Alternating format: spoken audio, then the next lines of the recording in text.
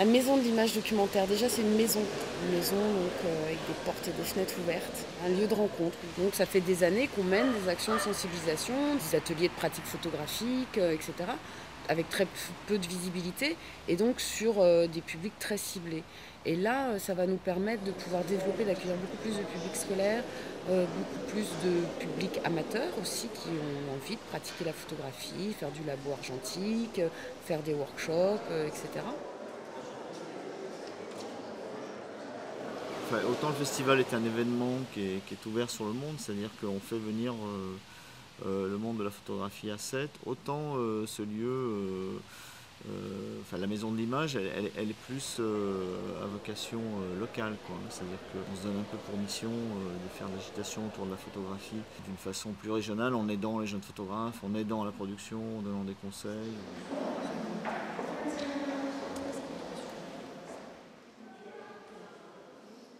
Donc avec quand même des propositions photographiques de qualité, donc pointues.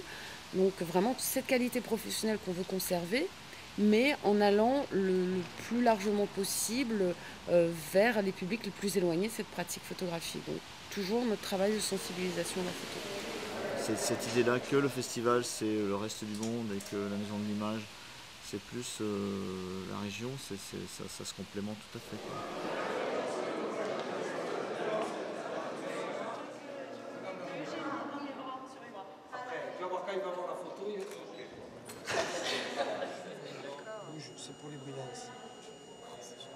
Je pense que je reviendrai voir les expos, apprendre la photographie, plus peut-être mes enfants. Euh.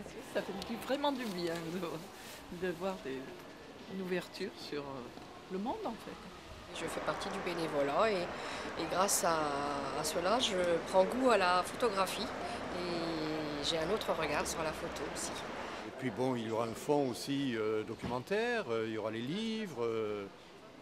Notre ami Christian Cojol a donné un bon fond de livre, donc on viendra consulter.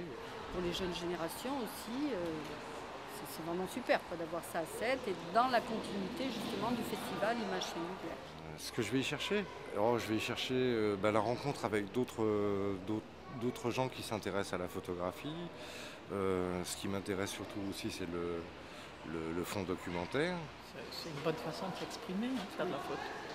À la fois de, de filmer et d'en faire une lecture aussi.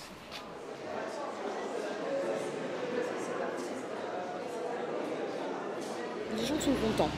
Ils sont très demandeurs, tous posent la question est-ce que vous faites des ateliers Où est-ce qu'on peut s'inscrire? Donc, ça, euh, je pense qu'on va vraiment répondre à une demande. C'est très intéressant. Et au niveau de ce que j'ai pu observer, euh, les gens s'assoient dans les fauteuils, consultent les magazines, regardent les livres, s'installent comme dans une maison. Ça, ça me plaît beaucoup.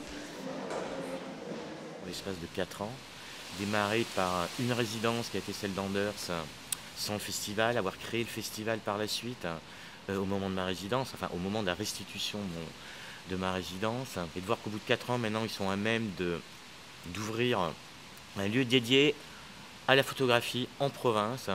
Euh, ça fait plaisir, même si tout le monde peut pratiquer la photo et tout le monde en fait, euh, l'image, l'image en tant que telle euh, reste quand même obscure au, grand public il faut, faut leur apprendre à décrypter et à comprendre une image.